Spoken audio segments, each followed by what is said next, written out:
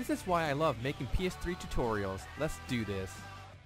Hey guys, this is Versatile from Project Phoenix Media. In today's video tutorial, this is a YouTube subscriber request who want to know how can I use my modded PS3, fat or slim, connected to my laptop or my desktop without using a router, just have it connect directly. So here's the setup, and I'm going to try something new for today. So what we have is the PS3 is in the background here. It's got a Ethernet cable, could be a Cat5 or Cat6 cable, and goes into my laptop here on the left.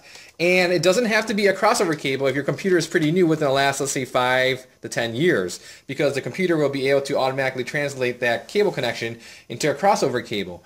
In the event that you're trying to do this tutorial and your cable doesn't work, then you might need to get an actual crossover cable, but they're pretty cheap these days, or get a little adapter. So let me show you how this works on the PS3, and I'm going to take some shortcuts here, and this it works great, and let me show you some uh, tips and tricks. So log into your local account, go to network settings, and then what we're going to do is set up the Ethernet. So go to Internet Connection Settings. And then what we're going to do is go to Custom, Wired Connection, Manual Settings, Auto Detect, Manual for IP address setting. And this is where the magic happens. Typically, IP addresses are like 192.168.1. whatever. I didn't want to scroll through all those numbers, so I'm going to say 1.1.1.2. You'll see how this works and why I decided to do this very shortly. Subnet mask 255, 255, 255.0. Default router, you can't have all zeros, so I just put a 1. Primary DNS and secondary DNS, these values don't matter, so put whatever you want. I just happen to have these values when I was um, playing GTA 5 because the server was down one time and it just stuck with those values. So just put whatever you want here, it doesn't matter.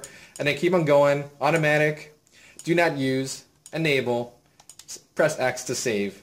And that's pretty much it on the PS3 side. Okay? And now what we're going to do is go to the computer. So why is this useful? Let's say that your PS3 and your computer is in the same room. You don't, or uh, yeah, is in the same room. For example, you don't have a router because it's downstairs or whatever. You want to transfer files over the network easily to your PS3. So that's why this tutorial is useful. Okay, so let's go to my other input source and let's go to my laptop here. And let me show you how this works. We're not going to take any shortcuts. I'm going to show you from A to Z how this works. And we're going to be using um, Windows 10 64-bit as an example. So follow along. So down here, we're going to go to Control Panel. Once you're at Control Panel, we're going to go to the network settings. How do you get there? Basically, if you're using category view, just go to Network and Internet. And then go to Network and Sharing Center. And then change adapter settings. So for this tutorial, what I am doing was I disabled my wireless. You don't have to, but I did that just to show you guys that yes, this is working just on the local LAN uh, between two uh, devices. So here's my local area connection 2. That's my Ethernet cable. So I'm going to right click here, go to Properties, go to Internet Protocol version 4, TCP IP v4, go to Properties, and here you go to Use the following IP address, and this is where the, the other half of the magic happens. So I, want, I don't want to type in other numbers. I mean, you can type whatever you want. Just make sure it's in sync with your PS3. But like my PS3, let's do 1.1.1.1. And the PS3 is 1.1.1.2. Remember that? Subnet mask, that's fine. And then default game and all the other stuff, you can actually leave it blank and say OK. Okay, so now what do you want to do? You want to transfer files to the PS3. Okay, great. So let's go ahead. Let's start out FileZilla. It's a free FTP program. Go ahead and use whatever program that you want that you're comfortable with. But FileZilla is awesome, so that's what I'm going to use. In the top left-hand corner, we're going to type in the PS3 IP address. So it's going to be 1.1.1.2. Press Enter. And we see that abracadabra, everything worked because here's the contents of my PS3 on the right-hand side. So let's say I go to dev underscore HDD0 and I just want to install like a mod menu today.